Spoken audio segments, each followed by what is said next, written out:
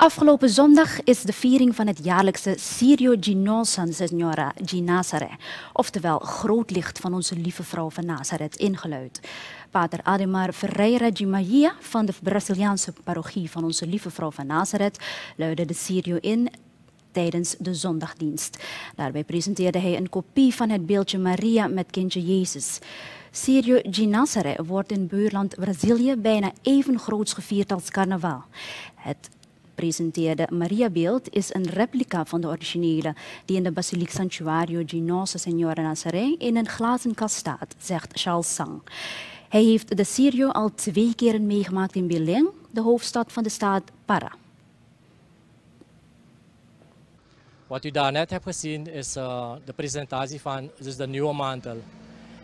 Elk jaar in de tweede week van oktober wordt dit groot feest gevierd in Belém. En dat is de viering van de Sirio de Nazareth. Um, in de 1700 werd een beeldje gevonden en toen die man dat beeldje naar huis bracht, verdween het de volgende dag. En die man zocht ernaar en hij kwam toen op het idee om naar dezelfde plek te gaan. En dat was langs een kreek in het bos. En daar vond hij dat beeldje weer. En dat, gebeur, dat, en dat voorval herhaalde zich, uh, zich nog een paar keren. Wat dus een wonder was. En daar staat nu vandaag de dag dus de grote basilica in Belém.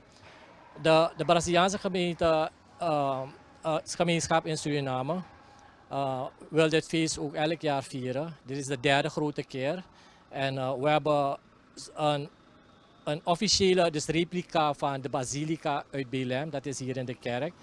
En dus elk jaar krijgt hij een nieuwe mantel. Dat is dus op ceremonie, ceremoniewijze vandaag gebeurd.